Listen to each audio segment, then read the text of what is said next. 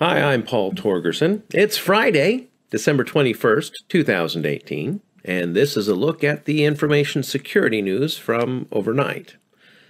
From ZDNet, a new wave of attacks is targeting Google and Yahoo accounts in order to bypass two factor authentication and compromise users of secure email services. Several phishing campaigns are underway in the Middle East and North Africa that appear to be conducted by the same threat group and are targeting human rights defenders. See the ZDNet article for full details.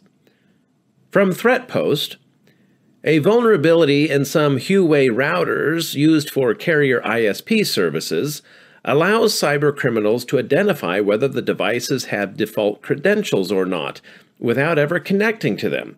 Huawei has issued a fix and is working with its carrier customers to implement across networks. Maybe we should ask the CFO. Is she still in Canada?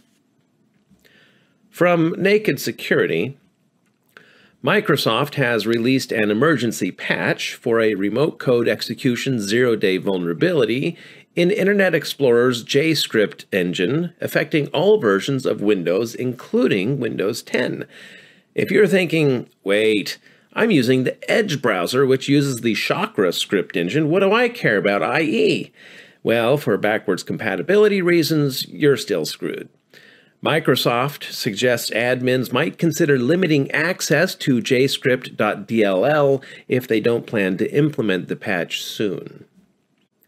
From Reuters.com, hackers working on behalf of China's Ministry of State Security breached the networks of HP Enterprise and IBM, then used the access to hack into their clients' computers, according to five sources familiar with the attacks.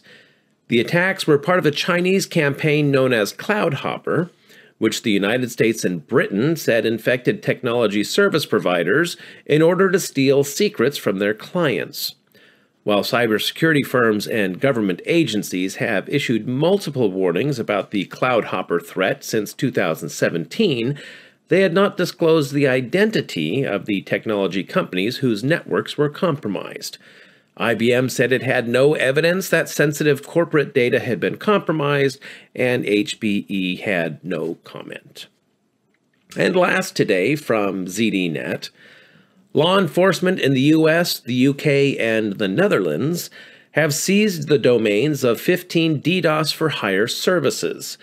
The domain seizures come days before the Christmas holiday, a period of the year when hacker groups have historically targeted gaming providers with DDoS attacks. The purpose of those attacks, as expressed by the hacker groups, was to ruin people's Christmas or to make gamers spend more time with their families. Well, we'll be having none of that. And that's all I have for you this week. Time for me to go out and do a little shopping.